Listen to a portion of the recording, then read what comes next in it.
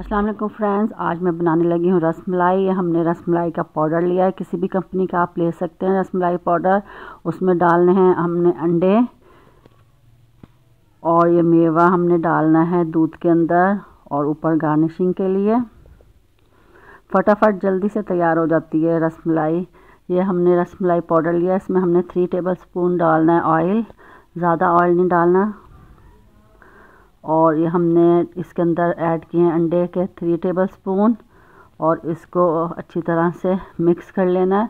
ज़्यादा अंडा और ज़्यादा ऑयल नहीं डालना, वो ज़्यादा फिर पतला हो जाता है अमेज़ा इस तरह से हमने इसको मिक्स करना है। अच्छी तरह से यकजान हो जाए और जब मिक्स हो जाए, अच्छी तरह से ये देखें कितना अच्छा मिक्स हो रहा है। अच्छी तरह मिक्स हो जाए तो फिर हमने इसको थोड़ी देर के लिए रख देना है, दस पंद्रह मिनट के लिए। और ये हमारे पास मेवे हैं।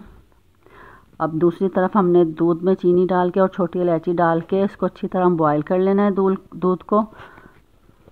और फिर हम इसके अंदर, जब ये अच्छी तरह पक जाए तो इसके अंदर हम रसमलाई जो हमने बनाई थी, ये देखें हमने यह मेज़ा रख दिया थोड़ी देर के लिए, दस पंद्रह मिनट के लिए, और फिर हमने इसकी बॉल्स बना ली हैं छोटी छोटी बॉल्स हमने बनानी है, ज़्यादा बड़ी नहीं बनानी, छोटी बनानी है, क्योंकि फिर दूध में जाके वो ज़्यादा बड़ी हो जाती हैं रसमलाई तो छोटी छोटी ज़्यादा अच्छी रहती हैं। और इस तरह हमने दूध जब पकने लग गया तो उसके अंदर डाल देंगे और हमारी देखें, जल्दी से झटापट तैयार हो गई हमारी रसमलाई।